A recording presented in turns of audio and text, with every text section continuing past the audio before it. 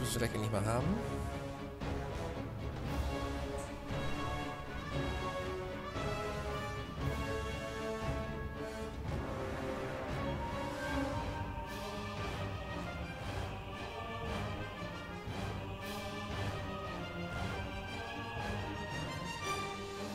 So.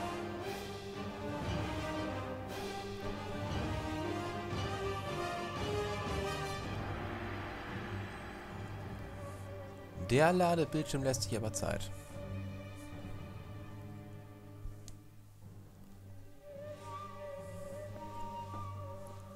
So, endlich. Doch Zeit. So, wir haben gewonnen.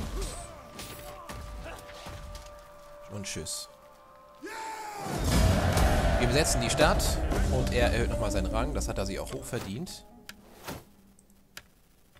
Und ähm, wir sorgen mal dafür, dass er ein General wird mit der entsprechenden gestiegenen Autorität. Er könnte eigentlich mal heiraten.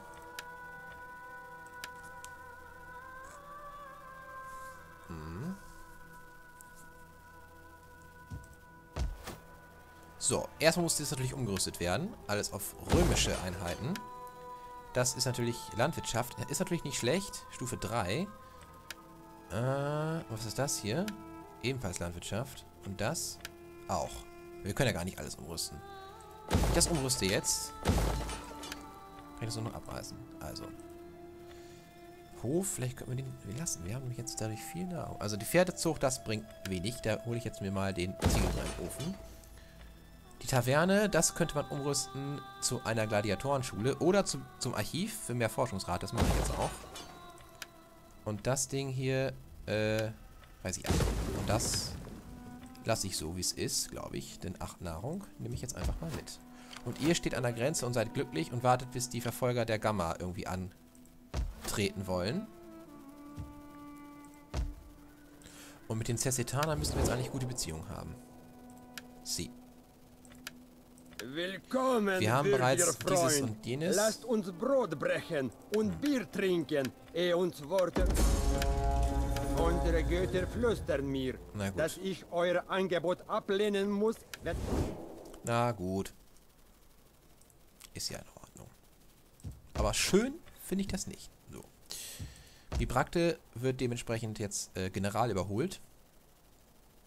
Die lateinische Kultur wird sich hoffentlich durchsetzen. Oh ja, langsam, aber... Nee, mit ordentlichen Schuben. 5,7 ist ein ordentlicher Schub. Und hier sind die... Ach, solange ich das noch habe, diese eine Reiterfarm, können wir das auch aufrüsten. Verbessern. Was bringt denn das Waffenschaden?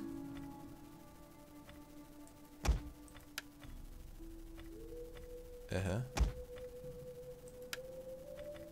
Sind die vielleicht schneller? Ja gut, ist auch egal. Ja, schneller sind die, glaube ich, oder?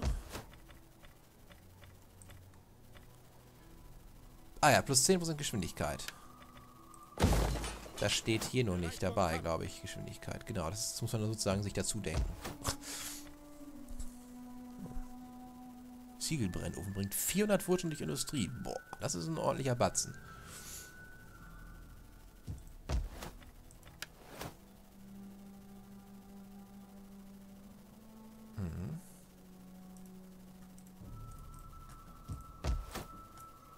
Irgendwelche Nachrichten. Das ist klar. Und den Frieden haben wir auch verhandelt. Siedlung erobert, Bibrakte, logisch. Habe ich ja selbst erlebt. Und dann können wir auch schon in die nächste Runde, glaube ich. Und gucken, was die Averner so machen. Scheint keine wirklich starke Nation mehr zu sein.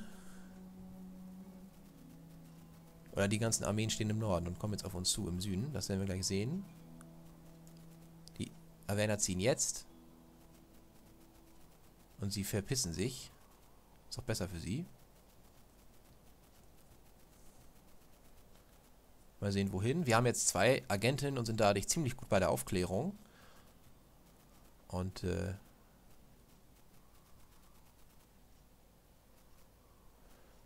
Hm, hm, hm,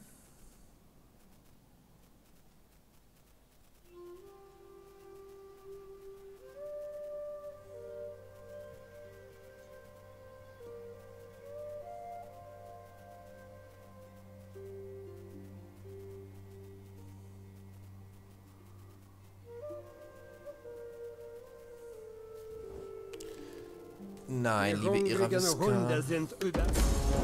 Immer noch nicht. Ich habe ganz andere Sachen vor. Und auch die Garamanten werden das in diesem Leben vermutlich nicht mehr bekommen. also da können die noch so oft ankommen. Nein, ich will das nicht.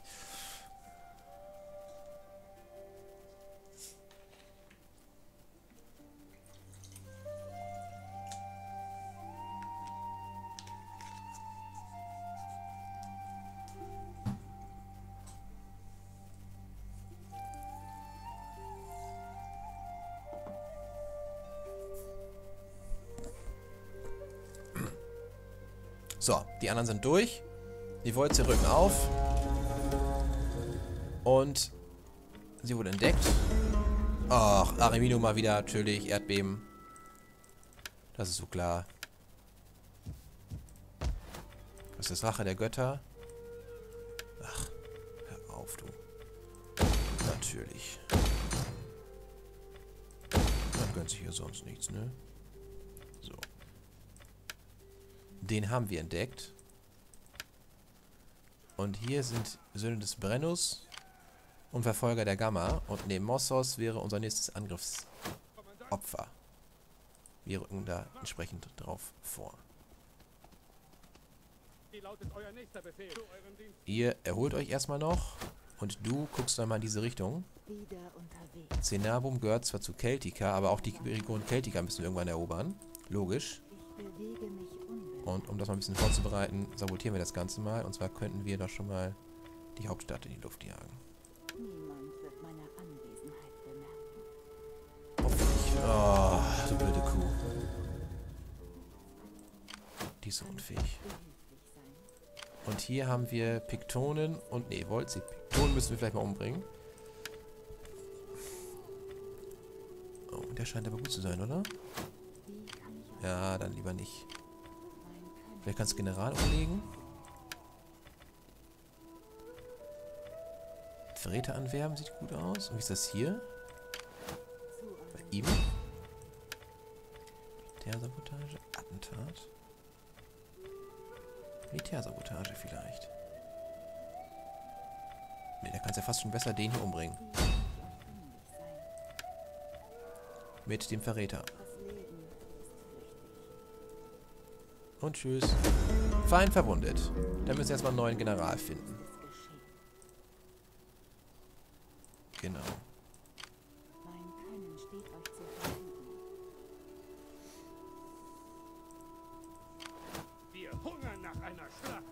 So, wie Brakte.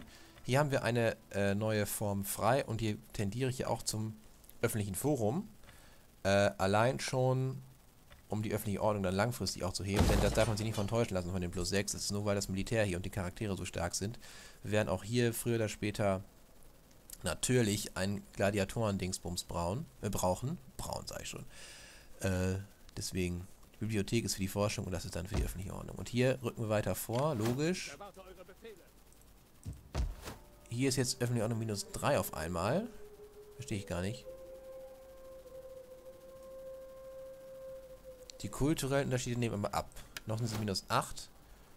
Lateinische Kultur verbreitet sich halbwegs schnell. Was können wir denn noch tun hier? Was ist denn hier, was die Leute ärgert? Ziegelbrennofen ist Verarmung. Haut natürlich sehr, sehr stark rein. Sklaven, Instabilität. Das wird alles weniger. Sklaven werden weniger, kulturelle Unterschiede, Instabilität. Also ich denke, das wird äh, bald vergessen sein. Ja.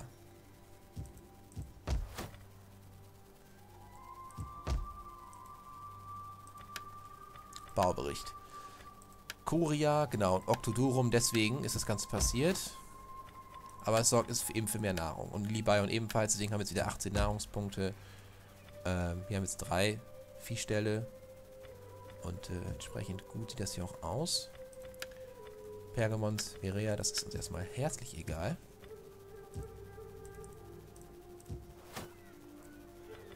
Syrakus.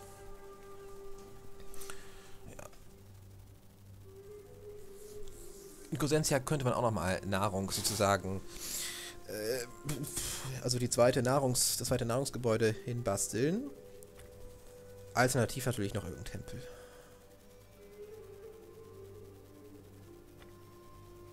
Wie sieht es hier aus mit Magna Graecia? 5, kurz vorm 6.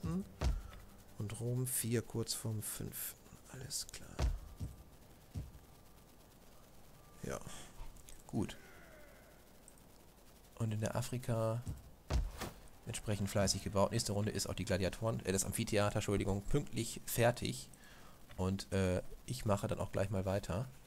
Unsere Truppen müssen erstmal äh, regenerieren und hier auch noch weiter vorrücken. Und dann ist Nemossos unser nächstes Ziel.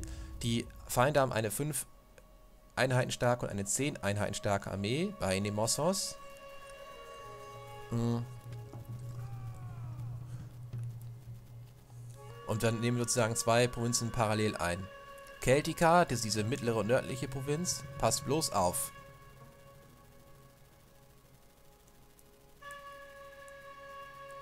Wehe, du hast mich jetzt gestoppt. Und eben die Averna. Und ich hoffe, dass die Volzee uns nicht zuvorkommen, denn mit denen haben wir kein Militärbündnis. Das heißt, wenn die Nemos erobern, würde das nicht zählen bei uns als Region die wir kontrollieren. Da müssen wir erst für teuer Geld oder so mit den Volsee ein militärisches Bündnis schließen.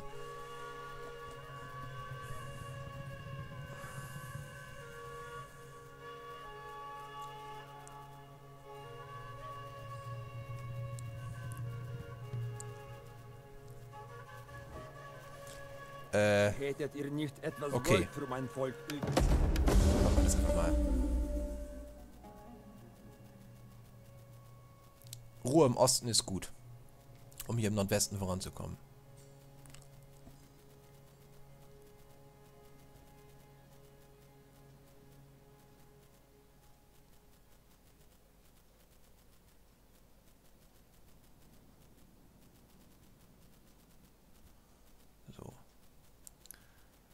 Das dauert jetzt etwas, aber die Piktonen sind, glaube ich, gleich nochmal dran.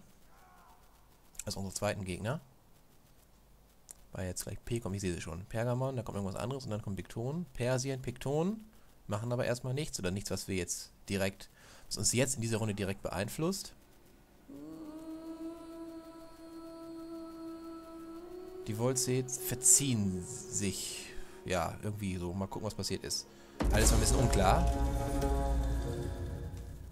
Ja, sie wurde entdeckt. Und, äh, wurdest du behindert? Nein, wurdest du nicht. Das wurde versucht, oder? Versuchter Militärumsturz. Schlug fehl. Alles klar. Xenophil. Ja, das ist zwar... Das ist gut für ihn, wenn es ihn trifft. Denn Autorität braucht er eh nicht so. Er braucht aber die Zolleinkommen, weil ist global gut. Also, römische Kolonia in Bibrakte. Das freut mich außerordentlich. Und natürlich, was mich noch viel mehr freut, ist das Amphitheater in Karthago. Und deswegen wird es auch gleich aufgerüstet zur Gladiatorenschule. So, Krieg erklärt.